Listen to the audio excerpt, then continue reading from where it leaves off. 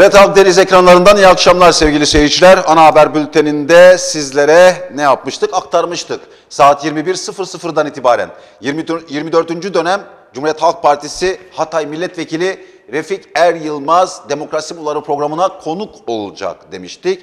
Ve Sayın Refik Er Yılmaz şu anda stüdyolarımızda kendisiyle yaklaşık bir saat birlikte olacağız. Gündemimizde elbette başkanlık sistemi de var. Ekonominin bu kötü gidişatı var. Onu da konuşacağız. Ve elbette gündemimizden neredeyse 40 yıldır hiç çıkmayan terör. Ama son dönemlerde gösterdiği tırmanış. Onu konuşacağız. Ve bölgemizi, Türkiye'yi, dünyayı hatta çok yakından ilgilendiren Suriye konusu ve yerelde ise Halep. Halep'ten yapılan tahliyeler Hatay'ı ne bekliyor, Türkiye'yi ne bekliyor? Bu konuyu da biraz konuşacağız Sayın Refik Er Yılmaz'la. İyi akşamlar Sayın Er Yılmaz. İyi akşamlar Ali Bey. Efendim e, iyi olmanız mümkün değil. Nasılsınız diye sormayacağım çünkü herhalde pek de iyi olmak mümkün değil Türkiye'de. Maalesef Türkiye'nin durumu iyi değil, bölgenin durumu iyi değil. İster istemez e, bizler de bundan etkileniyoruz. Ha. E, yaşanan süreç e, bütün vatandaşlarımızı gerçekten üzüyor, tedirgin ediyor, e, rahatsız ediyor. E, dolayısıyla e, biz de siyasetçi olarak e, toplumu rahatsız eden bu hususları kamuoyuyla bazen böyle arada bir paylaşma gereği hissediyoruz. Sizin kanınızda, HRT'nin kanalıyla. Çok teşekkür ediyoruz. İyi de yapıyorsunuz Sayın Er Yılmaz. Şimdi efendim zaman çok az olduğu için sizin de zamanınız çok az. Hemen ben konuya girmek istiyorum. E, hemen terörle girelim çünkü çok yeni bir konu. Geçtiğimiz hafta biliyorsunuz cumartesi günü o İstanbul'da Beşiktaş'ta meydana gelen iki ayrı terör saldırısı ve yaşamını yitiren 44 insanımız. E, şimdi tabii siz e, terör uzmanı değilsiniz ama siyasetçisiniz. Uzun bir süre görev yaptınız Ankara'da. Bu nedenle bizim bilgimize göre daha fazla bir bilgiye sahip olursunuz. Öngörünüz daha farklı. Şimdi birinci soru şu oldu. E, bu adamlar nasıl dolaştılar İstanbul'un içinde 400 kilogramlık bomba ile ve böylesine korkunç bir katliama imza atabildiler? Oradan Evet. girelim sonra siz detaylandırırsınız. Tabii öncelikle e, Beşiktaş'taki bu terör saldırısında hayatını kaybeden e, polislerimize, vatandaşlarımıza e, başsağlığı e, diliyorum. Allah rahmet eylesin. Mekanları cennet olsun. E, onların ailelerine de e, başsağlığı dileklerimi iletmek istiyorum. Çok acı bir olay. Gencecik insanlar maalesef bu tür böyle saldırılarla e, yitip gidiyorlar. Şimdi burada sorgulanması gereken şey şu tabii ki yani İstanbul'un göbeğinde vatandaşı korumak için görevlendirilmiş olan polislere saldırı yapılıyor, terör saldırısı yapılıyor. Çok ciddi bir terör saldırısı yapılıyor ve bunun önüne geçilemiyor. Şimdi burada e, bu kadar ciddi bir saldırı karşısında e, bu bu olayın önüne geçemeyen, buna engel olamayan e, siyasetçilerin de bir sorumluluğun olduğu e, kanaatindeyim. Yani başka ülkede olsa bu kadar ciddi bir terör saldırısı karşısında birileri çıkar istifa eder ya da görevden alınırdı. Siz o koltukta İçişleri Bakanı- olsaydınız istifa eder miydiniz? İçişleri Bakanı olsaydınız mesela bu terör saldırısı sonrası. Siyasi etik açısından ve yaşanan olayın e, büyüklüğü ve boyutu açısından orada bir siyasi sorumluluk olduğunu düşünüyorum. Eğer burada İçişleri Bakanlığı'nın istifa etmesi gerekiyorsa İçişleri Bakanı istifa etmelidir. İstanbul Emniyet Müdürü eğer istifa etmesi gerekiyorsa onun istifa etmesi gerekiyor. İstihbarat zafiyeti içinde olanlar eğer e, istifa etmesi gerekiyorsa onların istifa etmesi gerekiyor. Yani hiçbir şey olmamış gibi e, böyle olayın üzerini kapatarak biz bu terör terörle mücadele etmekte e, başarılı olamayız. Bu Ve yani- bu olay sadece Beşiktaş'ta yaşadığımız tabii, bir olay değil yani. Ki. Yani ben şimdi aklınızda var mıdır notlarınızda bilmiyorum. Son bir buçuk yılda, önceki gün arkadaşlar böyle bir haber hazırladılar bize. Son bir buçuk yılda 330'dan fazla bombalı saldırı ve yaşamını yitiren 500'den fazla insan. Bu ilgi değil. Doğrudur. Kimse de istifa etmedi zaten bu kadar Ankara patlama Ankara. Garı'nda, İstanbul'da, Dolmabahçe'de, Gaziantep'te, Diyarbakır'da- Diyarbakır'da bu e, sürekli yaşadığımız bu terör olay- olayları karşısında sorumluluk alıp e, bu konuda gereğini yapması gerekenlerin hiçbir şey olmamış gibi görevlerine devam etmesi kabul edilecek bir tutum değildir. Yani bakıyorsunuz Avrupa'da bırakın terör olayı en ufak bir olayda dahi örneğin Letonya'da e, bir marketin çatısı çöktü. Bakan çıktı istifa etti. Japonya'da deprem oldu. Zamanında vatandaşa suyunu ulaştıramadığı için bakan çıktı istifa etmek zorunda Ne, kaldı. biri İntihar etti. intihar etti, harakiri yaptı o Biz zaman. zaman kimsenin intihar etmesini istemiyoruz ama bu kadar ciddi vahim olay karşısında sorumlu olanların istifa etmesi gerekiyor. Yani İstanbul gibi merkezi bir yerde e, polise yönelik bu kadar ciddi bir saldırıyı haber almamak, engellememek, önüne geçmemek gerçekten ciddi bir şekilde sorgulanması gerekiyor. Biz aslında bu olayları e, Haziran ve Kasım seçimleri arasında da buna benzer e, ciddi boyutta terör olayları yaşadık. E, bu olayın da anayasa değişikliğinin meclise gönderildiği gün yaşanması da ciddi anlamda sorgulanıyor ve bir takım soru işaretlerini beraberinde getiriyor. Neden her önemli olayın e, akabinde bu tür terör olayları yaşanıyor diye de sorgulanıyor yani. Buna da bir açıklama getirilmesi gerekiyor. Dolayısıyla bu terör olaylarının önüne geçilebilmesi için e, devletin biraz daha e, ciddi bir şekilde e, organize olması gerekiyor. Ne yapsın peki Refik Bey? Şöyle, o hal ilan etmiş adamlar zaten. Şu anda mesela o hal. 5 aydır olağanüstü halle yönetiliyor Türkiye. Her taraf asker dolu, her taraf polis dolu. En ufak bir gösteride, toplumsal olayda binlerce polis diziliyor. E, efendim söyleyeyim e, ne o tomalarıyla, bilmem tanklarıyla, bilmem neleriyle. Ne yapsın daha yani? Şimdi e, sokakta polis koymaktan koymakla terör önüne geçemezsiniz. Öncelikle e, istihbaratınızın çok iyi olması gerekiyor. İstihbaratınızın çok iyi çalışması gerekiyor.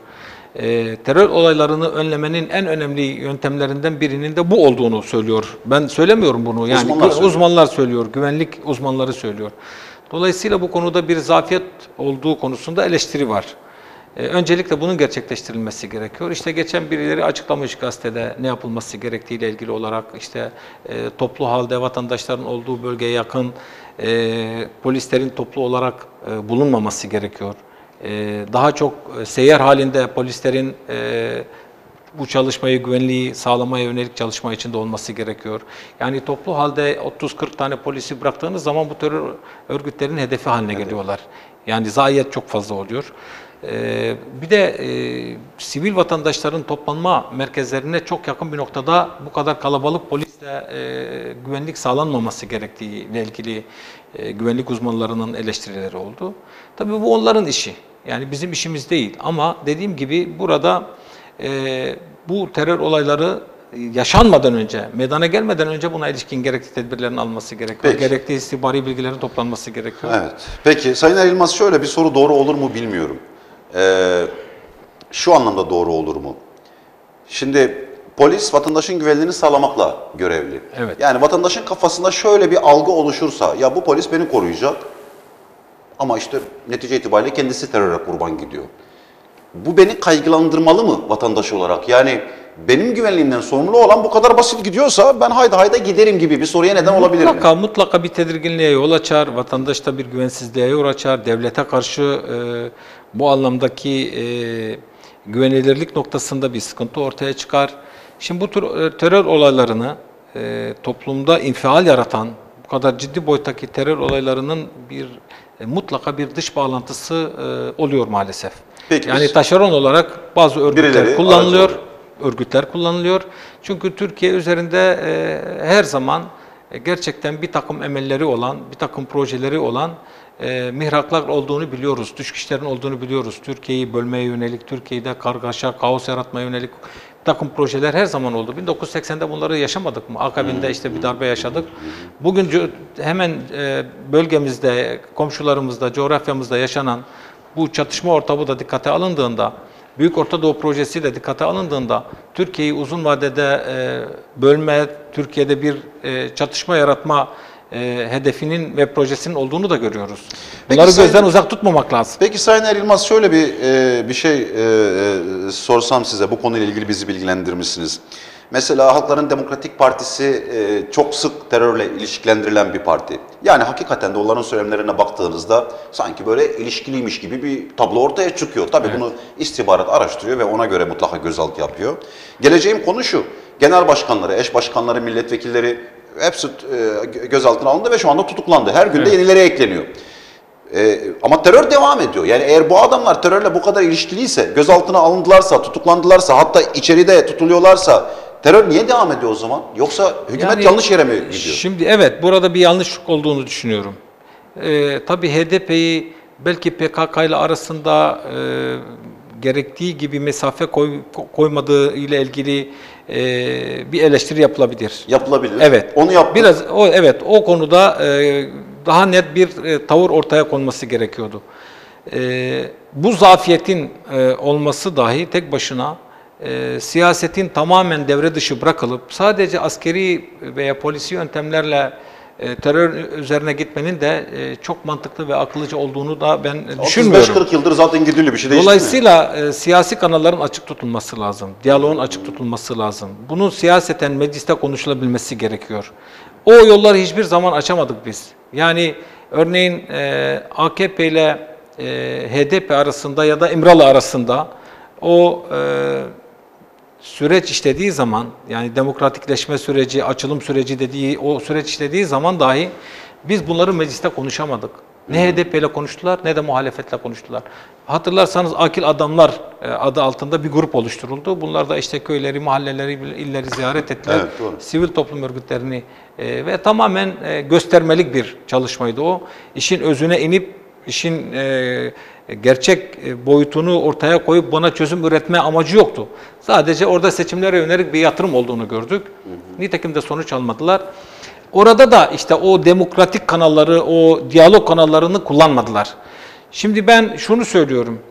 E, millet milletvekili yani milletin temsilcisinin eğer bir suç işlediği iddiasıyla karşı karşıya bırakılıyorsa elbette ki bununla ilgili bir e, cezai koşturma yapılabilir. Siz mecliste bunları anayasanın gerektirdiği şekilde e, dokunmazlıklarını kaldırdınız. Bunun tabii ki yorgu, yargı yolunu açabilirsiniz. Bunlar hakkında dava açılabilir. Ama bunların tutuklanmasının da çok doğru olduğunu düşünmüyorum. Hem siyaseten Onlar- düşünüyorsunuz hem hukuki olarak Evet, değil mi? kesinlikle. Bakın tutuklama bir tedbirdir. Bizim ceza kanunumuz, ceza usulü muhakemeleri kanunumuzda hangi hallerde tutuklama kararı verileceğini, tutuklamanın hangi amaçla e, e, uygulanacağını açıklıyor. Tutuklama bir tedbirdir. Siz bunu infaza dönüştürdüğünüz zaman amacından sapmış olursunuz. Kaldı ki yani oradaki insanların beğenirsiniz, beğenmezsiniz, siyasi düşüncelerine katılır, katılmazsınız. O kadar oradaki insanların oyla seçilmiş meclise gelmiş ve oradaki insanları mecliste temsil etme zorunda olan anayasa gereği de temsil etmek zorunda olan o insanları siz alıp tutuklarsanız ortada mahkeme kararı olmadan burada millet iradesiyle ilgili de sıkıntı ortaya çıkar. Te- te- e, temsiliyet konusunda ortaya e, sıkıntı ortaya çıkar ve bu sorunun kangren hale gelen ve küresel güçlerin de kullandığı, emperyal güçlerin de kullandığı bu PKK sorununun da maalesef e, çıkmaz bir noktaya gitmesine e, katkı sunmuş Anladım. olursunuz. Peki Sayın Erilmaz şimdi diğer konulara geçeceğiz ama e, birinci bölümde e, o e, Japonya örneğini verdiniz. Adam suyu iki saat veremedi diye harakiri yaptı ve intihar etti. Oradaki örnekle oradaki yöneticileri örnekleyip e, Türkiye'ye uydurmak biraz Türkiye için haksızlık olmaz mı? Öyle düşünmüyor musunuz? Yani Ya. şu manada söylüyorum. Eğer böyle bir şey yapacaksak herhalde şu anda Türkiye'de sağ kalan yönetici kalmazdı. Yani suyumuz yetersiz, yolumuz yetersiz, elektriğimiz yetersiz. Şimdi Hepsini ben- intihar ederse ne yapacağız? Yönetici bulamayacağız yani o anlamda söylüyorum. Tabii ki yani şöyle e, her olayda her yaşadığımız olayda birileri istifa etsin, görevden alınsın anlamında söylemiyorum. Abi adam iki saat Ama su vermemiş intihar etmiş. tabii oranın standartları Burada 15 gün su veremiyorlar ya. burada adam kalmaz, yönetici Abi kalmaz yani. validen tut, ne vali ne belediye başkanı kalır. Başbakan bile istifa etmek işte onu söylüyorum ben de. Ee, Türkiye koşullarında, Türkiye şartlarında, normal standartlarda bu kadar ciddi bir olay, bir terör olayı karşısında e, mutlaka bir siyasi sorumluluğunun olması gerekiyor diye düşünüyorum. Tabii, tabii. Belki Kesinlikle. bunlar biraz daha dikkatli davranmak zorunda kalır. Biraz daha liyakatlı davranmak zorunda kalır. E, ya zaten e, ne olursa olsun kimse görevden alınmıyor anlayışı biraz daha e, belki ihmali beraberinde getiriyor. E, sorumsuzluk böyle bir şeydir yani. Sorumluluk üst- üstletmiyorsunuz. Tabii. Dolayısıyla bu anlamda bir e, müdahalede bulunması gerekiyor diye düşünüyorum. Anladım. Peki Sayın e, Er Yılmaz şimdi geçtiğimiz e, yaklaşık bir ay oldu herhalde, bir ay önceydi. Sizinle bir program yapmıştık ve e, öngörülerde bulunmuştunuz o söz konusu e, programda. E, mesela e, meclise e, referandumla ilgili 330'u getirecekler dediniz, getirdiler. E, Nisan'da referandum olacak dediniz, hükümet tarafından referandum e, e, tarihi neredeyse resmi olmasa da açıklandı. Evet. Bu tespitleriniz hepsi tuttu. Şimdi oradan yola çıkarak e, bir tespitte daha bulunmanızı rica edeceğim. Olağanüstü halle ilgili. Olağanüstü hal Ee, işte uzatıldı biliyorsunuz ikinci bir Evet. defa. Bir kere daha uzatılacak mı? Şimdi onların e, onların maalesef e, böyle bir niyeti olduğunu görüyoruz. Yani en azından Cumhurbaşkanının e, o hali bir üç ay daha uzatma gibi niyeti olduğunu görüyoruz. Fakat o hal bilançosunu e, ortaya koyduğumuz zaman da e, acı bir tabloyla karşı karşıya kaldığımızı görüyoruz. Bakın örneğin 15 Temmuz darbe girişiminin ardından bu olağanüstü hal 5 5. ayını doldurmak üzere Evet. e, meclisin devre dışı bırakıldığı bu kararla birlikte e, 12 tane kanun hükmünde kararname çıkarıldı. Ve bu kanun hükmünde kararnamelerle birlikte 118 biş- e, 118 bin kişi e, hakkında idari işlem yapıldı. 118 bin. Evet, 85 bin kişi kamudan ihraç edildi. 96 bin kişi şüpheli oldu ve şu anda 40 bin kişi tutuklu durumda. 121 medya kuruluşu kapatıldı. 12 milletvekili tutuklandı. 10 terör saldırısı yaşandı ve bu terör saldırısında 59 polis, 10 asker ve 80 sivil hayatını kaybetti. Bu olağanüstü hal döneminde bu 5 Beş aylık sürede dönem. yaşadığımız acı tablo. Demek ki olağanüstü hal Çözüm değil. çözüm değildir. Dolayısıyla referanduma giderken anayasa değişikliği gibi önemli bir e, karar arifesinde, bir seçim arifesinde sizin olağanüstü hal e, kararıyla bu e, referanduma gitmeniz asla e, doğru değildir ve kabul edilebilecek bir şey değildir. Yani meclisin yasaların e, rafa kaldırıldığı, e, olağanüstü koşulların olduğu bir dönemde siz e, nasıl e, referanduma gideceksiniz? Vatandaş nasıl kendi özgür iradesini ortaya koyabilecek? Dolayısıyla bu çok tehlikelidir. Eğer böyle bir amaçları varsa e, bununla ilgili muhalefet partilerinin çok net bir tavır alması ve buna engel olması gerekiyor. E Bunun üstüne biliyorsunuz e, Sayın Cumhurbaşkanı dünkü bir konuşmasında milli seferberlikten söz etti. Ve milli seferberlik kavramı çok da tartışıldı yani muhalefet partileri Kesinlikle yani hangi amaçla, hangi niyetle bunu söylediğini biz hala anlamış değiliz. Yani o hali geçtik. Seferberlik tabii ki. O hali geçtik. seferber- İkinci Dünya Savaşı'ndan bugüne, İkinci Dünya Savaşı'nda biz e, bir seferberlik ilan edildi. O günden bugüne Türkiye Cumhuriyeti'nde böyle bir karar alınmış değildir. Savaş halinde daha çok seferberlik kararı veriliyor. Hangi amaçla bu e, söylemde bulundu, bu e, böyle bir e, açıklama yaptı? Onu hala anlayabilmiş değilim. Çünkü seferberlik kararı verdiğiniz zaman o savaş durumunda ancak alınabilecek kararları alabiliyorsunuz. Yani örneğin e, vatandaşların e, malına, e, araçlarına e, El koyabilme koyup yetkisi. bunları e, o amaçla kullanıyorsunuz. E, dolayısıyla e, bazı yasaları e, rafa kaldırıyorsunuz. E, şu anda bunu yapma şansımız yok. Bunu yapmak için de herhangi bir gerekçe de yok. Zaten siz olağanüstü halle memleketi yönetiyorsunuz. Bir de sıkı yönetime e, hangi amaçla e, ihtiyaç hissediyorsunuz? Bununla ilgili bir açıklama yapılması lazım. O zaman daha geniş detaylı bir açıklama e, bekleniyor Sayın Cumhurbaşkanı'ndan zaten. Anladığım kadarıyla siz de daha geniş çaplı bir açıklama bekliyorsunuz ki netlik kazansın kolay. Yani Milli bu tartışılıyor. Neden böyle bir açıklama yapıldı? Hangi ihtiyaçtan dolayı böyle Evet. bir açıklama yapma gereği hissediyorsunuz? Hangi talebiniz, hangi ihtiyaçlarınız karşılanmıyor da, hangi noktada bir sorun çıkıyor da siz bu yetkiyi kullanamıyorsunuz, yerine getiremiyorsunuz da böyle bir karar e, verme gereği hissediyorsunuz? Buna bir açıklık yapılması Aynı şey lazım. başkanlık için de geçerli değil mi? Yani başkanlık sistemini istemek için de şu anda Sayın Cumhurbaşkanı'nın herhangi bir nedeni var mı? Yani aslında zaten her dilediğini yapmıyor mu? Şimdi bu gerçekten çok tartışılıyor. Biz ondan önce şunu konuşmak e, gerekir diye Buyurun. düşünüyorum.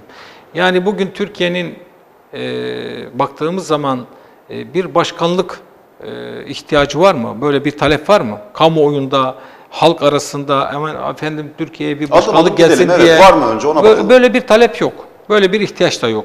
Vatandaşa sorduğumuz zaman da diyor ki şu anda Türkiye'nin sorunu e, bir başkanlık sorunu değildir. Bizim böyle bir talebimiz yok, böyle bir ihtiyacımız yok. Bizim öncelikle ekonomik anlamda sıkıntılarımız var. İşsizlik. Bu sorunların çözülmesi lazım. Bizim terörle ilgili sıkıntılarımız var. Bu terör sorununun çözülmesi gerekir. İşsizlikle ilgili sıkıntı var, yatırımla ilgili sıkıntı var. E, dolar almış başını gidiyor, iflaslar yaşanıyor, üretim sıfır noktasına gelmiş. Bakın burada bir takım e, veriler aldım. E, örneğin e, 2016'da tarım %7.7 küçülmüş.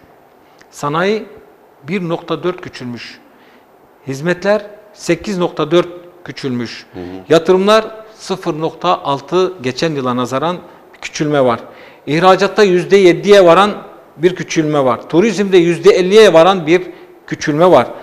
E Şimdi bütün bu e, ekonomik göstergeler ortada dururken, vatandaş e, açlık, sefalet, işsizlikle boğuşurken, siz bütün bunları bir kenarda tutup görmezden gelip bütün enerjinizi, Türkiye'nin bütün e, enerjisini sadece başkanlık üzerine eğer harcamaya çalışırsanız birilerinin de çıkıp itiraz etmesi gerekiyor. Bizim Türkiye'de bu başkanlığı talep ederken acaba yaşadığımız bu terör sorunu, bu ekonomik sorun, bu güvenlik sorunu, bu komşularla yaşadığımız sorunlara hangi birisine çözüm getirecek? Eğer bu başkanlık sorunu Türkiye'nin önünde duran şu andaki temel kronik sorunlara çözüm üretecek bir e, yol olduğu iddiası varsa bunu da çıksın açıklasınlar. Desinler ki biz başkanlığı Türkiye'deki ekonomik sorunları çözmek için getiriyoruz gerekçesini ortaya koyacak. Ya da Türkiye ile komşularla olan e, sorunlarımızı çözmek için getiriyoruz. Aksine O halde bir bizi daha da geriye götürecek bir e, uygulama olduğu ortaya çıkıyor. Evet. Yani aklı başında bütün akademisyenler, bütün hukukçular, e, net olarak bütün siyasetçiler başkanlık sisteminin özellikle şu anda meclise sevk edilen anayasa paketindeki öngörülen başkanlık sisteminin e, Türkiye'yi ne kadar da geriye götürücü, götürdüğüyle ilgili, götüreceğiyle ilgili çok net tespitleri var. Uyarıları Peki- var. Peki Sayın Elmas şimdi dediniz ki birilerinin itiraz etmesi gerekiyor. Herhalde öncelikle bu görev muhalefet partilerine Evet. düşer. Ana muhalefet partisi yani sizin de mensup olduğunuz Cumhuriyet Halk Partisi'nin bir itirazı söz konusu. Bana sorarsanız cılız bir itiraz oldu gene. Yeterli bir itiraz yok. Bunu ben söylüyorum. Ee, ama hadi yine yenilir yutulur cinsten bir muhalefeti var. Milliyetçi Hareket Partisi muhalefet partisidir. İşte kol kola girdiler. Evlere şenlik bir durum. Evlere şenlik bir durum. Ne oldu orada? Şimdi tabii ki e, bu sorun sadece e, muhalefet partisinin karşı çıkacağı bir sorun değil.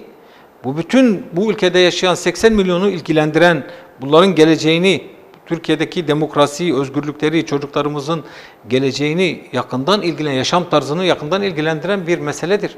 Burada elbette ki siyasi partilere birinci derecede sorumluluk düşüyor. Ama onun dışında bu ülkede bütün sivil toplum örgütlerine, bütün e, sendikalara, bütün e, hukukçulara, barolara e, ve bu ülkede gelecekle ilgili, demokrasiyle ilgili, özgürlüklerle ilgili kaygı duyan herkese, bütün vatandaşlara görev düşüyor. Herkesin karşı çıkması Niye lazım. o görevi yerine getirmiyorlar? Getirmediklerini görüyoruz zaten. Niye getirmiyorlar? Şimdi mesele şu. Türkiye'nin esas zaten şu andaki temel meselelerinden de birinin bu olduğunu düşünüyorum. Neden? Çünkü ne sendika bıraktılar, ne sivil toplum örgütü bıraktılar, ne e, örgütlü bir toplum var. Siyasi partileri ne hale getirdiler. Bakın, Niye hepsi duruyor? Siyasi partiler de var, örgütler de var, sivil toplum örgütleri de var. Hepsi duruyor Sayın Er Yılmaz. tamamen onlara angaja olan bir parti haline getirdiler. Örneğin MHP bugün AKP'nin ar- arka bahçesi gibi bir tutum içerisinde. MHP'liler kızmaz mı sizin bu dediğinize mesela? Bakın burada Yani e, onların işte bilmem angajmanca, Bakın, Bahçeli'nin yaptığı açıklamalar var daha önce. Ben burada izninizle bunları e, açıklamak istiyorum. Çünkü bugün basında e, yine yayınlandı. Bakın daha önce ne söylemiş e, Sayın Bahçeli? Başkanlık Tayyip Erdoğan diktatörlüğünün kurulmasıdır.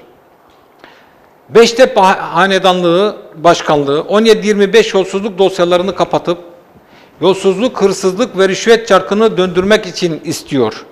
Başkanlık federasyon demektir. Türkiye'yi bölünmeye götürür. Başkanlık tek adam diktatörlüğüdür. Başkanlık karanlık Türkiye'dir. Başkanlık hırsızlıkla yolsuzluğun ruhsatıdır. Bizim partili Cumhurbaşkanlığı ve başkan baş e, Cumhurbaşkanlığı ve başkanlığı istediğimizi söyleyenler soysuzdur. Şimdi bu ifadelerin sahibi Devlet Bahçeli'dir. Ee, ve daha sonra da şunu söylüyor. Ey heyhat o Bahçeli dün aynen e, şu, şunları söylediği gibi bugün de çıkıp diyor ki ben her ne daha önce ne söylediysem şimdi de söylediklerin arkasındayım. Peki siz bunları söylüyorsunuz. Şu andaki daha önce söylediklerinizle şu andaki yaptıklarınız birbiriyle çelişmiyor mu? Yani sizi başkanlığı e, desteklemekle e, suçlayanları soysuzlukla itham ediyorsunuz. Ağır hakaretlerde bulunuyorsunuz. Şimdi de çıkıp işte bu anayasa paketine destek vereceğinizi açıklıyorsunuz. Bu bir çelişkidir. Bakın başkanlık sistemine belki birazdan geçeceğiz. Ne getiriyor, ne getiriyor biraz da ona Başkanlık bakmamız sistemine lazım. Zaten şu anda o konuyu konuşuyoruz ama e, kısa kısa geçersek Sayın Erilmaz zaman çok çabuk ilerliyor. Önünde Bakın konu çok. bugün eee, şu anda muhalefetin özellikle eee, MHP'nin bu anayasa değişikliğiyle ilgili başkanlıkla ilgili tutumunu ben eleştir ben, benim dışımda bugün kendi milletvekilleri eleştiriyor. Her gün televizyonlarda bununla ilgili e, programlar izliyoruz. E, MHP'de daha önce milletvek şey genel başkan adaylığı e, talebinde bulunmuş olan arkadaşlarımızın açıklamaları var. Ve e, milletvekillerinin önemli bir bölümünün de hayır oyu kullanacağıyla ilgili açıklamaları var. Tabanında, normal tabanında da buna ilişkin itirazlar var. Yani bir itiraz var MHP tabanında. Çünkü bunu kabul etmenin mümkün olmadığını onlar da biliyorlar. Bunu Türkiye'yi nelere sürükleyebileceğini onlar da biliyorlar. Peki hiç faydası yok mu başkanlığın Refik Bey? Yani ya tamam biz eleştiriyoruz, gelsin istemiyoruz, muhalefetimizi de ortaya koyuyoruz ama ya aslında şu iki maddesi de iyidir diyebileceğiniz bir şey var mı? Öyle geçelim başkanlığı. Şimdi Bu başkanlıkla e, getirilmek istenen Türkiye'de işte bir biraz demokrasi, özgürlükler aynen Türkiye'de bir demokrasi, e, özgürlükleri, temel hak ve hürriyetleri genişletme, kurumsallaştırma anlamında bir e, çaba yok. Burada amaç demokrasiyi ge- geriye götürecek Türkiye'yi teokratik, otokratik tek kişinin e, hakim olduğu bir e, ülke haline getirmeye çalışıyorlar. Yani tek kişinin tek kişinin yasamaya, yürütmeye, yargıya hakim olduğu, kanun hükmünde kararname çıkarabildiği, yasa çıkarabildiği, me- meclisi feshedebildiği, e, kendisinin yürütmenin elinde olduğu ve yürütmenin denetim altında olmadığı e, keyfi bir e, sisteme dönüştürmeye çalışıyor. Şimdi burada bunu kabul etmek mümkün olabilir mi? Ve biz Türkiye'de demokrasi bir, bir- belirli bir mücadele sonucunda elde edebildik. Bugün Türkiye'de demokrasi uzun bir süreçte yapılan mücadeleler sonunda kazanmıştır. Şimdi siz bunu bir çırpıda e, böyle tamamen ortadan kaldıracak bir e, rejim değişikliğine e, evet demek mümkün olabilir mi? Bunu kabul etmek mümkün olabilir mi? Bize çıksınlar hangi demokrasiyi getiriyorlar bu başkanlık sistemiyle? Hangi özgürlükleri getiriyorlar? Hangi temel hak ve hürriyetleri getiriyorlar? E, mevcut olan parlamenter sistemde bir kuvvetler ayrılığı var yargı, yasama ve yürütme. Bunlar birbirini denetleyecek mekanizmalar şeklinde kurulmuştur. Şimdi siz eğer başkanlık sistemiyle şu anda e, öngörülen, meclise sunulan anayasa değişikliğindeki paketteki o düzenlemelere baktığımız zaman e, yürütmeyi eline alıyor. Anayasa Mahkemesi ve Hakimler Savcılar Yüksek Kurulu'nun üyelerinin yarısını kendisi seçiyor. Tamam. Kanun hükmünde kararname yetkisini getiriyor. Meclisi feshetme yetkisi getiriyor. Erken seçime gitme kararı veriyor. Uluslararası sözleşmeleri imzalama yetkisi E getiriyor. peki Refik Bey Şimdi bunu bir tek kişinin yapması doğru değil. böyle bir şey olabilir mi? E ama şöyle bir şey e, ekleyebilir miyim ben? Yani şu anda başkanlık sistemi Türkiye'de yok. Doğru mu? Şu aşamada yok. Ama yargı, yasama, yürütmenin de Cumhurbaşkanı'nın e, elinde olduğuyla ilgili özellikle Cumhuriyet Halk Partisi'nin zaman zaman sizin de e, çok açıklamalarınız var. Zaten hepsi elinde yani. Fiili bir durum var şu anda. Evet. Bu fiili durum anayasaya uygun bir durum değildir. Anayasa şu anda ihlal ediliyor. Bunu hukukçular zaten söylüyor, bas bas bağırıyor. Burada şu anda anayasa rafa kaldırılmış durumda. Olağanüstü hal ilan edilerek milli irade meclis devre dışı bırakılmış durumda. Yargı zaten bu 15 Temmuz darbe girişimiyle birlikte zaten nerelerde sürünüyor? Şu anda bağımsız yargıdan bahsetmemiz, sağlıklı bir yargıdan bahsetmemiz mümkün mü? Bilmiyorum avukat sizsiniz, hukukçu sizsiniz. Kesinlikle böyle bir şey söz konusu değil. Yani nereye giderseniz gidin bugün e, yargı çalışanlarının beşte biri zaten şu anda e, tamamen e, görevleri elinden alınmış Peki her durumda. şeye rağmen yargıya güvenmek zorundayız deme gibi böyle diyoruz ya zaman zaman. Ben de söylüyorum. Hatta siz de söylüyorsunuz. Başkaları da söylüyor. Ya da siz belki söylemiyorsunuzdur bilmiyorum. E, yargıya güvenmek zorundayız. Yargıya güvenmek zorundayız. Siz yargıya Koşulsuz bunu söylemek Bakın, durumunda mıyız biz her zaman? bağımsız yargıya, tarafsız yargıya güvenmek zorundayız. Bağımlı yargıya zaten kimse güvenmez. Dolayısıyla bizim burada amacımız bu kuvvetler ayrılığıyla parlamenter sistemin tabii ki bazı sıkıntıları vardır. Ee, örneğin meclisle ilgili bir sıkıntımız var. Her ne kadar yasama, yürütme ve yargı bağımsızdır diye e, anayasada, yasalarda geçiyor olsa da fiiliyatta örneğin 12 yıldır e, AKP grubunun ya da meclisin çoğunluk kendilerinde olduğu için bağımsız kendi özgür iradeleriyle hareket ettiğini yasa çıkardıklarına ben şahit olmadım. Yine e, Cumhurbaşkanı Erdoğan'ın açıklamaları, talimatları ve inisiyatifiyle e, meclisin yönetildiğine tanık olduk. İşte bunun sebebi de şuradan kaynaklanıyor. Bakın siz eğer milletvekillerini partinin liderinin iki dudağı arasına hapsederseniz, onun belirle, belirlemesine imkan verirseniz o milletvekilinden bağımsız hareket etmesini de bekleyemiyorsunuz. Tamam, diğer siyasi Dolayısıyla bununla ilgili diğer mı? partilerde de aynı şey, şey Aynı söz şey, onu konusudur. İşte bunun önüne geçebilmenin koşulları vardır. Örneğin partiler yasasında buna ilişkin düzenlemeler yapabilirsiniz. Seçim yasasında bununla ilgili yasamalar, e, düzenlemeler yapabilirsiniz. Ve milletvekillerinin seçilmesinin parti liderlerinin inisiyatifinden kurtarıp onları daha bağımsız, daha özgür bir hale getirebilmenin e, koşullarını oluşturabilirsiniz. O da neyle mümkün? O da mümkün. partiler Halk- yasasında anladım ama partiler yasasında bir değişiklik yapmak zorundasınız. Lider sultasını oradan alacaksınız. Yani milletvekili seçildiği zaman kendini kendisini belirleyen liderine değil, kendisini seçen halkına karşı sorumlu hissedecek. Eğer bu düzenlemeler yapılabilseydi biz yıllardır bunu söylüyoruz. Yani bu e, yasamayı daha özgür ve halka karşı sorumlu bir noktaya getirebilme adına siyasi partiler yasasında bir takım değişikliklerin E yapılması siz söylüyorsunuz e, Refik Bey hakikaten siz defalarca bunu dile getirdiniz ama e, e, siyasi parti liderleri bunu söylemiyorlar. Her seferinde bunun kalmasını Şimdi istiyorlar. Türkiye'de Yani maalesef yaşadığımız bir çıkmazdır bu. Onu ifade etmeye çalışıyorum. Peki şimdi e, Refik Bey tabii çok önemli bir konu. Aslında burada ekonomiyi de işleyeceğiz ama bu konuyu işledikten sonra ekonomiyi işleyeceğim. Artık hepsini toparlayıp öyle ekonomiye gireceğiz. Şimdi biliyorsunuz Suriye'de 2011 yılından bu yana e, sürmekte olan, halen de devam eden işte kimi buna savaş diyor, kimi Suriye ordusunun ulusal mücadelesi diyor, kimi e, terörist teröristler Amerika'nın işte diğer Batı ülkelerin beslediği teröristlerin oradaki bir işgalinden söz ediliyor. E, kimisi demokrasi mücadelesi diyenler de var o, orada yaşananlar için. Siz hangi ismi veriyorsunuz bilmiyorum onu şimdi bize açıklarsınız. E, ve son gelişmeler Halep. Halep'le beraber e, on binlerce insanın yine Türkiye'ye geçişi bekleniyor. Evet. Ee, bundan biraz söz eder miyiz? Halep'te aslında ne oldu son bir ayda? D- çünkü 3 yıldan bu yana Suriye ordusu Halep'i kuşatıyor, alamıyor, kuşatıyor, alamıyor. Son bir ayda nasıl oldu da alabildi? Ee, ve bizi ne bekliyor? Ee, başta bizim de yayın yaptığımız Hatay ilini ve e, ülkemizi. Şimdi biz e, daha önce biliyorsunuz burada da e, kaç defa program yaptık bununla ilgili olarak. Evet.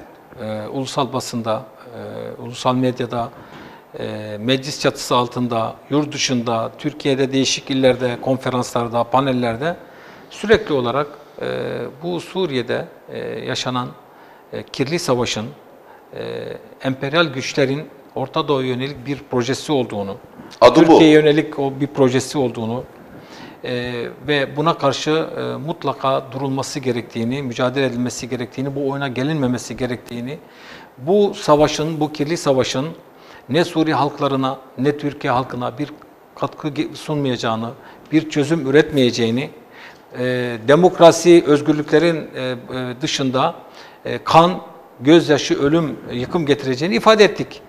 5 yıldır bunları söylüyoruz. Evet. Biz bunları söyledikçe birileri bizi farklı bir şekilde itham etmeye çalıştı. Ama geldiğimiz noktada, hep aslında bunu söylemek istemiyorum ama geldiğimiz noktada haklı olduğumuz ortaya çıktı. Keşke yanılsaydı. Bakın biz buna karşı çıktığımız zaman henüz daha Suriye'de kimse ölmemişti. Biz bombaların gölgesinde Suriye'ye gidip bununla ilgili araştırma yapıp bununla, bu konuda raporlarımızı hazırladığımız zaman daha henüz şehirler yağmalanmamıştı, yıkılmamıştı, daha kimse ölmemişti. Aman aman yapmayın etmeyin dedik bizi dinlemediler. Ve ben hala aynı noktadayım. Bu kirli savaşa taşeronluk yapanlar var ve bu ki- kirli savaşın arkasında olan esas aktörler var. Başta Amerika olmak üzere.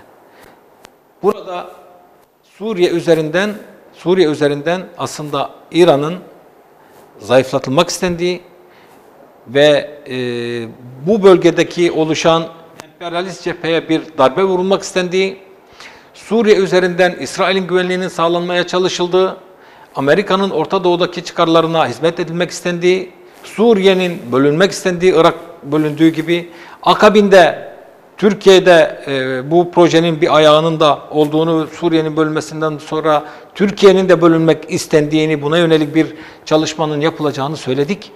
Ve geldiğimiz noktada da gerçekten bunların hepsi e, ortaya çıktı. Suriye şu anda fiili olarak bölünmüş durumda. E, Halep alındı, şu alındı, bu alındı tamam ama Suriye şu anda fiili olarak bölünmüş durumda. Bir tarafta Suriye ordusunun hakim olduğu alan, bir tarafta IŞİD'in hakim olduğu bir bölge, geniş bir bölge, öbür tarafta PYD'nin hakim olduğu bir alan, diğer tarafta da hükümetin desteklemiş olduğu, e, başını ÖSO'nun çektiği e, diğer e, silahlı grupların hakim olduğu İdlib ve Türkiye sınırına yakın diğer o Kobani ve Afrin arasındaki 55-60 kilometrelik hakim olduğu bir alan. Şimdi Suriye 4-5 parçaya bölünmüş durumda. Suriye'nin eski hale gelmesi için uzun bir zaman alacak. Ve Suriye ne kadar erken toparlanırsa bizim için de o kadar iyi olacak. Türkiye için. Çünkü Türkiye'nin sınırlarını tehdit ediyor. Türkiye'nin güvenliğini tehdit ediyor. Türkiye'nin ulusal çıkarlarına zarar veriyor. Bunu artık e, hükümetin, bunu Cumhurbaşkanı'nın çok daha net görmesi gerekiyor. Yani e, husumet üzerinden, e, kin üzerinden, nefret üzerinden e, dış politika yürütemezsiniz. Burada bu şekilde eğer duygusal hareket ederseniz sadece aklı, mantığı, bölgenin koşullarını, realitesini eğer dışlayan bir noktada hareket ederseniz kendinize zarar verirsiniz. Zaten bugüne kadar zarar verildi. Dolayısıyla e, daha önce bu sorun nasıl çözülür e, sorusu sorulduğu zaman da biz bu konudaki cevabımızı, O zaman e, tespitlerimizle söyledik. Yine aynı şekilde. Biraz da o noktaya gelmiş görünüyor şu anda hükümet. Yani bölge ülkeleriyle birlikte hareket etmek zorundayız. Bölge ülkeleriyle dayanışma içerisinde Suriye sorununa siyasi bir çözüm bulunmaktan başka yapacak bir şey yok. Yani sadece askeri yöntemlerle, sadece küresel güçlerin bu projesine taşeronluk yapan bu radikal gruplarla, cihatçılarla, Vahabi Selefi militanlarla işbirliği yaparak, onlara destek vererek, onları koruyup kollayarak siz Suriye'deki soruna çözüm üretemezsiniz. Ve üretilemeyeceği de geldiğimiz noktada açıkça ortaya çıkmıştır. Burada bu soruna ancak şu şekilde çözüm bulabiliriz. Siz Rusya gibi önemli bir e, aktörü, siz bölgede ciddi anlamda inisiyatif sahibi olan İran'la ve bölgede çıkarı olan İran'la, siz işte e, Irak'la, e, Suriye yönetimiyle bir araya gelip ortak bir strateji geliştirerek diyalogla, siyasi bir e, çalışmayla bu soruna çözüm üretebilirsiniz.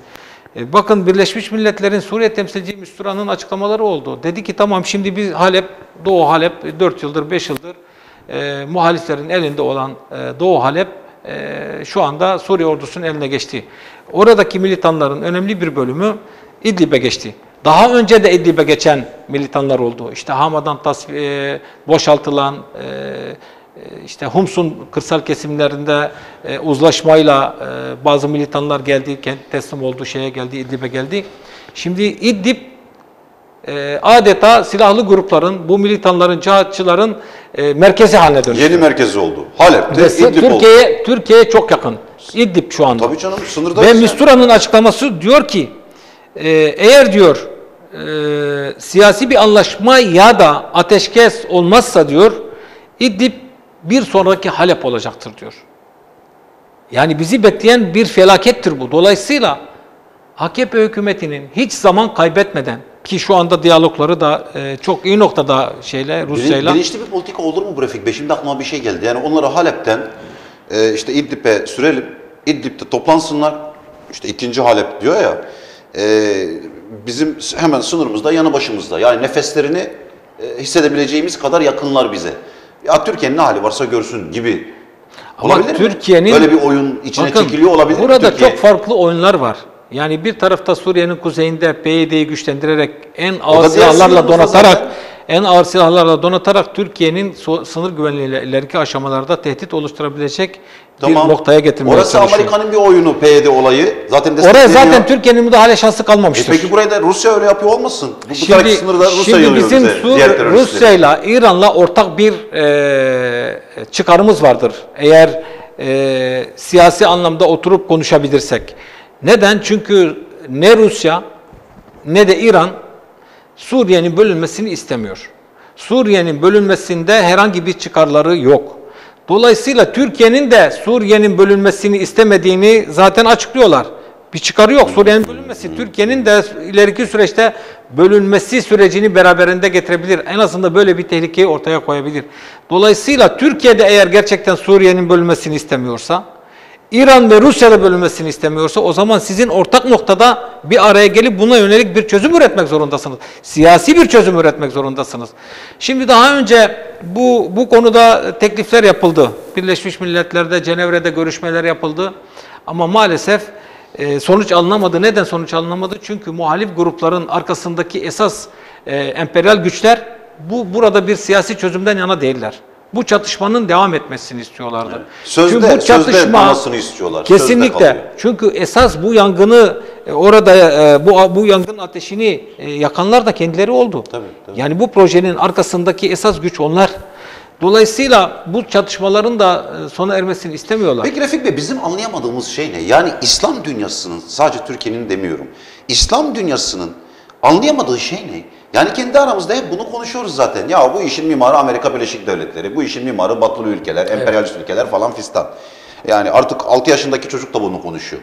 E, o halde neyi biz anlayamıyoruz da bunlar halen bu oyunlarını sürdürebiliyorlar Orta Doğu coğrafyasında. Şimdi İslam ülkeleri dediğimiz e, özellikle Orta Doğu'daki e, yönetimlere baktığımız zaman bunların e, böyle çok da bağımsız hareket edebilen işte emperyal oyunlara e, karşı direnebilen bir yapıda olmadığını biliyoruz. Bunlar e, Amerika'nın e, hatta İsrail'in denetimi altında olan, onların talimatıyla hareket eden, onların e, talepleriyle yönetimlerin e, işte gelip gittiği bir e, rejimler olduğunu görüyoruz. Dolayısıyla şimdi siz Katar'ın, siz Küveyt'in ya da işte Suudi Arabistan'ın Amerika'ya rağmen ya da İsrail'e ya da işte İngiltere'ye ya Batı, e, diğer Batı ülkelerine karşı bir tutum içinde e, bir İran gibi, bir şu andaki Suriye'deki yönetim gibi bir duruş sergilemesini bekleyebilir misiniz? Bugüne kadar böyle bir tavır ortaya koyabildiler mi? Ortak hareket edebilme iradesini bugüne kadar ortaya o zaman koyabildiler mi? bildikleri halde vatanlarını satıyorlar, insanlarını öldürüyorlar. Esas kendi katil koltukları onlar için, bakın kendi Yani- koltukları için, kendi siyasi istikballeri için gelen bütün bu e, dayatmaları kabul eden bir noktada olduklarını koltukta görüyoruz. biraz daha oturmak Neden şu anda bakın o, İslam coğrafyasına baktığımız zaman neden kan gövdeyi götürüyor? Neden Irak'ta savaş e, kaç yıldır devam ediyor, milyonlarca insan hayatını kaybediyor? Neden şu anda e, Libya e, çatışmalar devam ediyor, Libya üçe bölünmüş durumda? Neden hala şu anda Suudi Arabistan Yemen'e saldırıyor, Yemen'de çatışmalar var? Mısır'da keza aynı şekilde. E, şimdi bütün bunları oturup sorgulamak lazım. Yani de- onların bunları görüp ona göre hareket etmesi gerekiyor. Ya da en azından Türkiye bunlarla ilişkilerinde bütün bu hususları dikkate alıp Dikkate ona göre tavır gerekiyor. alması gerekiyor. Evet. Şimdi Sayın Er Yılmaz tabii e, sorgulamamız gereken e, bu da var sizin bahsettiğiniz gibi. Çok önemli bir konu tabii. İslam dünyasının bir bütün olarak kendini sorgulaması ne oluyoruz diye çok önemli bir konu. Ama bizim de yayın yaptığımız ilimiz Hatay'ı da çok yakından ilgilendiren ilgilendiren bir konu var. Türkiye'de bir bütün olarak. Şimdi bir yandan sizin anlattıklarınız yaşanıyor Orta Doğu coğrafyasında. Öte taraftan son dönemlerde özellikle sosyal medyada bazı yazarlar, e, benim de önümde notlar var. Anladığım kadarıyla sizin de önünüzde notlar var bu konuyla ilgili. E, mezhep üzerinden Evet. söylemlerde bulunarak çok tehlikeli bir politika güdüyorlar. Direkt Alevi Sünni diyorlar. Mesela. Onun üzerinden hareket ediyorlar. Bunun sayısız örnekleri var sosyal medyada sevgili seyirciler. Ve ben bunları dün de ana haber bülteninde hatırlayacaksınız dile getirmiştim. Yapmayın dedik bunu. Bakın özellikle Hatay ve Hatay gibi hassas bölgelerde bunu yapmayın. Biz yüzlerce yıldır hoşgörü içerisinde Alevisi, Sünnisi, Hristiyanı, Müslümanı bilmem kimi neyse yani e, Ermenisi, Kürdü vesaire kardeş gibi yaşıyoruz ve kimse bu birlikteliğimizi bozamadı. Ama bu söylemler bize çok zarar veriyor. Mesela şimdi benim önümde e, yani özellikle getirdim bunu. Adam e, bir de şey üniversitede görevli bir adam. Akademisyen. Akademisyen Abdülkadir neydi? Şen. Şen. Evet, Abdülkadir maalesef. Şen. Yani sadece bir satırını okuyorum. Cemevi, Ali, insana saygı, madımak, hoşgörü diyen ne kadar namussuz mezhepçi varsa Halep'te katillerle beraber lanetliler topluluğu. Ey Halep'te çocukları, kadınları, sivilleri korkakça bombalayan, rejimi savunan mezhepçiler. Bakın yani hemen mezhebe girmiş. Evet evet. Gerisine devam etmeyeceğim çünkü çok çirkin Çok, cümleler var çok içinde. çirkin bir yazı, çok çirkin bir yazı. Fatih Tezcan diye bir Ucu yani kardeşimiz Evet. demek istemiyorum Yok. ama hadi öyle diyeyim gene. Var. Onun yazılarını zaten size söylememe gerek yok. Sizler de biliyorsunuz. So- sosyal medyaya girin zaten öyle aktroller var ki. Maalesef. Öyle şeyler yazıyorlar ki yani. Maalesef. Tamamen işi oraya getiriyorlar. Bununla ilgili ne söylemek istersiniz? Benim Bilmiyorum. aslında programınıza çıkmak istememin sebeplerinden biri de bu. Bunu çok önemsiyorum. Çok tehlikeli bir döneme Evet, girdik çünkü. yani e, şu anda özellikle bazı e, basın medya kuruluşlarında e, özellikle bu Halep'le ilgili e, en son e, gerçekleşen bu olaylardan sonra Halep'in içerisinde muhaliflerin e, sıkışması, e, Halep'i kaybetmesinin e, acısı ve öfkesiyle e, mezhep üzerinden çok ciddi e, mantığın, ahlakın kabul edemeyeceği saldırıların olduğunu görüyoruz.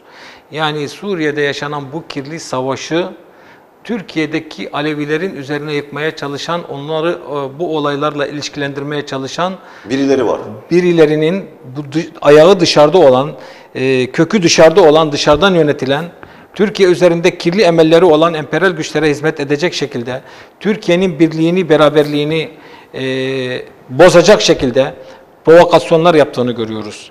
Bunu asla kabul etmiyoruz. Burada bu tür açıklamalar karşısında savcıların derhal e, gereğini yapması gerekiyor. Hükümet yetkililerinin bu konuyla ilgili derhal açıklama yapmasını e, yapması gerekiyor. E, bu arkadaşın görevli olduğu üniversitenin rektörü derhal bu arkadaşla ilgili işlem yapması gerekiyor. Bu tür Amerikan çocuklarını biz daha önce de yaşadık. 1980 öncesinde sağ sol çatışmalarında Türkiye'de iç barışı dina- dinamitlemek isteyen, birlik, beraberlik, kardeşlik ortamını bozmak isteyen, parçalamak isteyen güçlere hizmet edecek şekilde hareketlerde bulunan, e, provokasyonlar içinde olan isimleri de gördük. E, buradaki Türkiye'de yaşayan 20 milyon Alevi'yi hedef tahtasına oturmaya kimin hakkı var? Alevilerin Suriye'de 5 yıldır, 6 yıldır süre gelen bu kirli savaşla ilintilendirmek, bunları orayla bağlantılandırmak neye göre yapıyorsunuz bunu? Ne ilgisi var buradaki Alevilerin oradaki savaşta? Sizin bir hesabınız varsa gidersiniz hesabınızı orada görürsünüz. Ama siz 20 milyon Alevi'yi bu ülkede barışı baltalayacak, dinametleyecek şekilde hedef tahtasına oturtup kardeşlik ortamını bozmaya hakkınız yoktur. Savcıların derhal bu konuda gerekeni yapması gerekiyor. Bu böyle hafife alınacak bir olay değildir. Toplumun arasında kin, nefret tohumları eken bir açıklamadır bu. Ve buna benzer açıklamaların olduğunu görüyoruz. Gerçekten e, çok üzücü bir durum. Elbette ki biz Suriye'de e, eğer sivillere yönelik bir e, iddia edildiği gibi bir saldırı varsa e, biz bunu kınıyoruz. Kimden gelirse gelsin. Bu eğer Suriye ordusu yapıyorsa Suriye ordusunu kınıyoruz. Esad yapıyorsa Esad'ı kınıyoruz. Terör örgütleri yapıyorsa terör örgütlerini kınıyoruz. Ama o, o ülkede Suriye'de 5 yıldır bu terör gruplarının neler yaptığına bütün dünya şahit oldu. Yani şimdi siz Yani eğer şimdi müsaade siz ederseniz onları da çıkacaksınız. kınayalım değil mi? Müsaade ederlerse bu, bu düşüncede olan insanlar Ama mu- onları da bir kınayalım yani. manipülasyon haberlerin yayın- yayınlandığını çok iyi biliyoruz. 6 yıldır desenformasyon yapıldığını, Suriye'deki gerçekliğin çarpıtıldığını, farklı bir şekilde kamuoyuna yansıtıldığını zaten hepimiz çok iyi biliyoruz. Yani Suriye'de ne olup bittiğini Türkiye'ye, basına, medyaya doğru bir şekilde gerçek bir şekilde ortaya koymuyorlar, açıklamıyorlar. Çarpıtarak ortaya koymaya çalışıyorlar. Çünkü onların siyasi hedefleri vardır. Onları onlar için önemli olan Suriye halkı Halep halkı değildir. Tabii onlar ki, için önemli yok. olan siyasi hedefleridir. Oradaki bir güç savaşı yaşanıyor ve bu iktidar savaşı yaşanıyor. O iktidar savaşında hedefe ulaşmak için her şeyi mübah ola gören bir anlayışla karşı karşıyayız. Yani biz 6 yıldır oradaki savaşa, oradaki kirli savaşa karşı duran bir noktada olmadık mı? Yapmayın etmeyin demedik mi? Bunun Suriye halkına hizmet etmeyeceğini, Suriye'ye demokrasiyi, özgürlükleri getiremeyeceğini, aksine oraya kan, gözyaşı götüreceğini, şehirleri yağmalayacağını söylemedik mi? Söyledik. Peki biz bunları söylerken oradaki o kirli savaşı destekleyen, çanak tutan, oradaki yangına körükle giden şu anda bu e, Amerikan çocukları e, destek vermedi mi? Suriye'deki bu kirli savaşın yanında durmadı mı? Onları e, güçlendiren, onları e, cesaretlendiren bir noktada olmadılar mı? Oldular. Şimdi onların bu şekilde Alevileri tehdit e, e, hedef noktasına getirmeye kesinlikle hakları yoktur. Bunu kabul etmiyoruz. Bu ciddi bir tehlikedir ve bütün kamuoyunu da bu, kadı, bu konuda uyanık olmaya e, davet ediyorum. Şunu Çünkü bu açıklamalar Ali Bey, Buyurun. bu açıklamalar ülkenin birliğine, beraberliğine e, katkı sunmaz. Aksine e, zarar verir. Zaten Türkiye'nin yeterince sorunları var. Bir tarafta terörle mücadele ediyoruz, bir tarafta ekonomik sıkıntılar var, öbür tarafta Av- Avrupa Birliği ile sıkıntılarımız var. E, Diğer yanda sınırlarımızda komşu ülkelerle yaşadığımız sorunlar, sıkıntılar var. Şimdi bütün bunların üzerine de kalkıp bu ülkede yaşayan 15-20 milyon Alevi'yi de tahrik edecek, provoka edecek, hedef tahtasına oturtacak, e, birlik beraberliğimize zarar verecek tarzdaki açıklamaları görmezden gelmek, müsamaha göstermek asla söz konusu olmamalıdır. Gereken mutlaka yapılmalıdır. Kaldı ki yani e, Refik Bey e, sizler de zaten olaya vakıfsınız sevgili seyirciler siz de vakıfsınız. Yani Alevilere yönelik tarih boyunca ben size yüzlerce katliam sayabilirim. Ancak Alevilerin neden olduğu bir tek katliam bile yok. Yani intikamcı, Bir de- e, ölçü alan öyle bir toplum da değil zaten yani. Bir de Ali Bey şu- Katledildiğiyle kalan bir toplum. Neden bu kadar bu toplumun üzerine Şu arkadaşlara anlayabilmek mümkün değil yani. şu soruyu sormak istiyorum. Yani siz bir tarafta e, Halep'te Şii milislerin sivilleri katlettiğini iddia ediyorsunuz. Öbür tarafta Dışişleri Bakanı sabah saat 6.30'da e, Dışişleri Bakanı Suriye şeyin İran Cumhurbaşkanı ile İran e, Dışişleri Bakanı ile görüşmek için rica ediyor. Apar topar gidiyor orada görüşmeler yapıyor. Bugün de görüşme yaptılar. Evet, Dün de yapıldı. Yani siz bir tarafta Suriye'de Suriye'de o Şii milisleri gönderdiğini iddia ettiğiniz İran'la e, sarmaş dolaş olacaksınız. Öbür tarafta 5 yıldır Suriye'deki e, yönetimin yanında duran, her türlü desteği veren Putin'le günde 5 defa görüşeceksiniz. Bir tarafta Cumhurbaşkanı gidecek, o gelmeden Başbakan gidecek, sonra gelecek Cumhur Dışişleri Bakanı gidecek. Onlarla sarmaş dolaş olacaksınız. Ondan sonra da Suriye'deki o olaylarla ilgili e, tweet atan, e, yorumda bulunan vatandaşları daha hedef tahtasına oturtup, Alevileri hedef tahtasına oturtup onlarla ilgili yasal işlem yapacaksınız. Şimdi burada samimiyetiniz de sorgulanır. Eğer burada siz Suriye'deki bu kirli savaşta sivillerin öldürüldüğünü iddia ediyorsanız, yönetimin, Suriye yönetiminin sivilleri öldürdüğünü iddia ediyorsanız, öncelikle o des, o orada o yönetime destek veren Putin'i sorgulayacaksınız. Peki bu konuyla ilgili son soru ne hedefleniyor olabilir? Yani Alevilerin e, işte birileri tarafından yani ben bireysel çıkış da olabilir düşüncesindeydim sizinle oturmadan önce ama siz hayır bireysel çıkış değil diyorsunuz. Bu tamamen Amerika tarafından yönetiliyor ya da dış emperyalist güçler tarafından yönetiliyor. E, Alevilerin hedef tahtasına oturtulmasıyla beraber soru bu. Ne hedefleniyor olabilir? Şimdi iç barışı dina- dinamitlemek, birlik beraberliği bozmak. Zaten yeterince sorunumuz var. Türkiye'yi biraz daha karmaşaya mı sürükleyelim? Aynen. Hedef bu mu? Türkiye üzerinde proje var. Türkiye üzerinde emelleri var. Türkiye'yi de bölmek istiyorlar. Türkiye'de de bir kaos ortamı yaratmak niye bunu istiyorlar. Kürtler üzerinden Bölgede güçlü bir ülke. Bakın Efendim bunun Kürtler üzerinden niye oynamadılar Sayın Erilmaz? Madem ki yani Sünniler üzerinden niye oynamadılar? yani Kürtler üzerinde oynamıyor mu? Özellikle- PKK olayı neyin nesidir?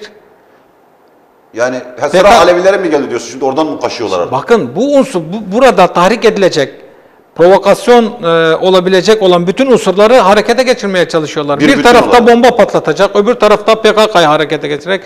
Diğer tarafta yanık başımızda işte e, IŞİD'i diğer unsurları harekete geçirecek. Alevi Sünni Burada. Alevi Sünni çatışması yaratacak. Öbür tarafta Şii Sünni çatışması yaratmaya çalışacak. Hatay'ı- bu unsurları kaşıyacak. Hatay'ı çok iyi tanıyorsunuz Sayın Erilmaz siz. Hataylısınız, Samandağlısınız. Hatay'ı çok çok iyi tanıyorsunuz. Milletvekilliğiniz döneminde e, neredeyse gitmediğiniz ilçe kalmadı. Bütün ilçelerin insanlarını da iyi tanıyorsunuz. E, Hatay bugüne kadar bu oyuna gelmedi. Çok Evet. büyük provokasyonlara sahne olmasına rağmen Reyhanlı provokasyonu gibi mesela. Buna rağmen gelmedi. Bu süreçten sonra ne olur? Bakın e, Hataylı nasıl bakar olaya? insanlar arasında e, öfkeyi daha da arttıracak, insanların komşusuyla kavga edecek, insanların komşusuna düşman olabileceği bir ortam yaratılmaya çalışılıyor. Dolayısıyla bu tehlikeli bir gidişattır. Yani dünya tarihinde de biz bunu görmüşüz. E, Türkiye'de de e, 1980'de bunları yaşadık. E, komşusuyla e, daha önceden çok ciddi anlamda dostane ilişkileri içinde olan insanların daha sonra birbirlerine nasıl silah çekmek zorunda bırakıldığına da tanık olduk. Evet, biz Hatay'da e, Sünnisiyle, Arabıyla, Kürdüyle, Türküyle e, kardeşçe, barış içerisinde yaşıyoruz. Birbirimizi de çok iyi tanıyoruz. Buradaki halklar arasında, Türkiye'deki halklar arasında bir sorun yok. Ama sorun yaratma çabası var. Bunların arasını bozmaya, provokasyon yapmaya e, çalışan bir güçler var, karanlık güçler var. Dolayısıyla bunun için başta hükümetin e, bu konuda hassas davranması lazım. Bu oyuna gelmemesi lazım. Bu konuda kullanılabilecek olan taşeronları da tespit edip bunun gereğini yapması gerekiyor. O akademisyen gibi. Şimdi o akademisyen arkadaşa sormak lazım. Siz bu açıklamalarınızla kime hizmet ediyorsunuz? Hedefiniz nedir? Yani bu, bu açıklama yapılacak bir açıklama mıdır? Yani siz bu ülkede yaşayan 20 milyon Alevi'yi hedef tahtasına oturtarak siz kime hizmet ediyorsunuz? Çıkıp birilerinin bunu açıklaması gerekiyor. Ee, onun için devletin de bu konuda, devlet organlarının yetkililerin de uyanık olması lazım. Bu ülkenin birliğini, beraberliğini bozabilecek provokasyon e, eylemlerine karşı herkesin uyanık olması lazım. Bizim birliğe ihtiyacımız var. Bizim beraberliğe ihtiyacımız var. Bizim dayanışma içinde kardeşçe yaşama e, e, ortamına ihtiyacımız var. Dolayısıyla bunu dinamitleyebilecek, bunu bozabilecek her türlü eylem karşısında inancı, mezhebi, kimliği, siyasi düşüncesi ne olursa olsun burada bir duruş sergilemesi gerekiyor. Bu arkadaşlarımızın açıklamalarına sadece Alevilerin değil, ülkesini seven, barıştan ve e, birlikten, beraberlikten yana olan inancı, kültürü ne olursa olsun bir karşı duruş göstermesi, bir tepki ortaya koyması gerekiyor.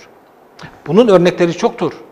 Dolayısıyla bunun yaygınlaşmaması açısından, toplumda kin ve nefreti e, körüklememesi açısından e, bunun önüne geçilmesi gerektiğini düşünüyorum. Evet. Peki Refik Bey ben e, yani tabii e, sizin de ifade ettiğiniz gibi devam etsek Türkiye'nin sorunlarıyla, dünyanın sorunlarıyla, özellikle Orta Doğu coğrafyasının sorunlarıysa sabaha kadar programımız bitmez ama tabii bizim de belli bir süremiz var. Evet. Süremizi de doldurduk. 2-3 cümleyle ama sizden şunu rica edeceğim. E, e, yani neler söylemek istersiniz? Başta e, Hataylılar için çünkü hassas bir coğrafyada yaşıyoruz. Ondan sonra diğer e, yani bu yoldan yola çıkıp bu noktadan yola çıkıp mezhepçi politika güdenlere ve bize bizi izleyenlere ne söylemek istersiniz? Tabii bu ülkeyi seven, e, bu ülkede, bu topraklarda kardeşçe, barış içerisinde yaşamak isteyen e, herkese bu kritik süreçte, e, bu gergin ortamda komşularımızın tamamında çatışmaların, kan gözyaşının olduğu bu ortamda bizim her zamankinden daha fazla bir birliğe, beraberliğe ihtiyacımız var. Bu e, öncelikle bunun bu konuda herkesin titiz davranması gerekiyor. Hükümete de, hükümet yetkililerine, sayın savcılarımıza da bu tür provokatif eylemler karşısında daha uyanık davranmaları ve gereğini derhal yapmaları konusunda e, mutlaka e, gerekeni yapmasını e, E Peki siz avukatsınız talep mesela ediyoruz. suç duyurusunda bulunmayı düşünüyor musunuz ya da Bu bir suç mu? duyurusudur. Bakın kanunumuz gereğince ille de girip birinin yazı yazıp savcılığa götürmesine gerek yok. Basın savcılarımız vardır. Ya bunu gördüğünde Basın aslında- savcıları, basın savcıları bununla ilgili e, gerekli işlemleri hiçbir şikayet olmadan derhal yerine getirmekle mükelleftir. Onun görevi budur. Dolayısıyla hani şikayet etmek e, zorunda değil hiç kimse.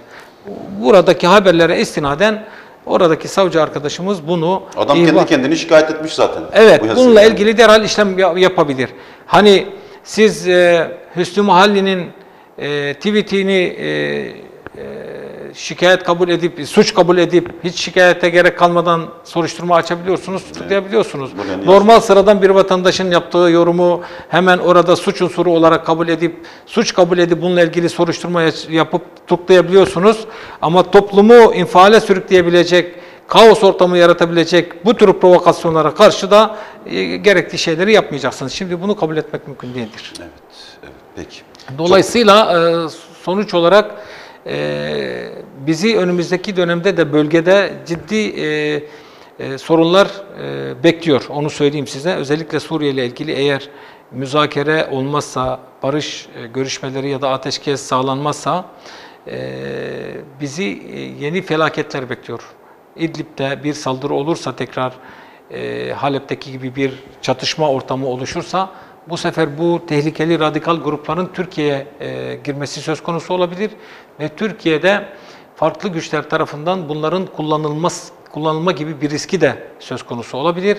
O nedenle ben e, bu süreçten sonra Suriye'de derhal bir barışın tesisi için e, gerekli çabanın sarf edilmesi gerektiğini düşünüyorum. Barış. Vatandaşlarımızın uyanık olması lazım. E, Türkiye çok kritik bir süreçten geçiyor. E, aman aman e, provokasyonlara, e, tahriklere kimse kapılmasın. Peki çok teşekkür ediyorum Sayın Refik Ben Yerilmez. teşekkür ediyorum. İyi akşamlar diliyorum. Evet sevgili seyirciler, Demokrasi Yolları programının konuğu Sayın Refik Er Yılmaz'dı. Cumhuriyet Halk Partisi 24. dönem milletvekiliydi. Bilmeyenler için e, söylüyorum. Ve ben kendisiyle Sayın Er Yılmaz'la e, yıllardır program yaparız. Milletvekilliği döneminde de çok program yaptık. Şimdi de yapıyoruz, yapmaya devam ediyoruz. Ağzından düşürmediği bir tek cümle var. Barış. Mustafa Kemal Atatürk'ün o dünyaca bilinen sözü. Yurtta sulh, cihanda sulh. Ağzından hiç düşürmediği bir laftı. Bu programda da programını böyle bitirdi. Peki biz ne yapacağız? Biz önümüzdeki cuma gününü bekleyeceğiz. Yeniden sizlerle birlikte olmak umuduyla. Şimdilik iyi akşamlar diliyorum.